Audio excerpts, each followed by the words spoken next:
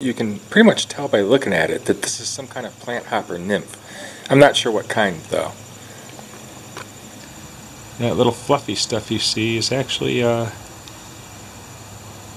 pretty sweet, Sh pretty sugary.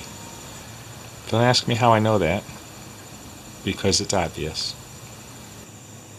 Well, needless to say, after I tasted that a couple years ago, I had to look it up.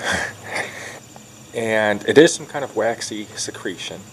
And it is used for defense to deter predators and stuff like I thought. However, not exactly in the way that I thought. Yeah, it gets in the way of them actually hunting them.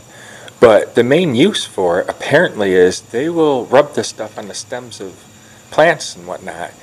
And predators such as ants and other various species will go walking up the plant and search for food and it'll get some of this secretion on them. And it really bothers them. I don't know if it's uncomfortable or not, but it bothers them. And they spend most of their time trying to clean themselves and get it off because it's rather distracting.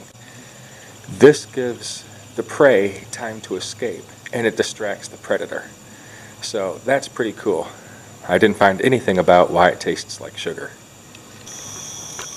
Here's an awesome webworm moth. I think these are awesome looking moths. They're small.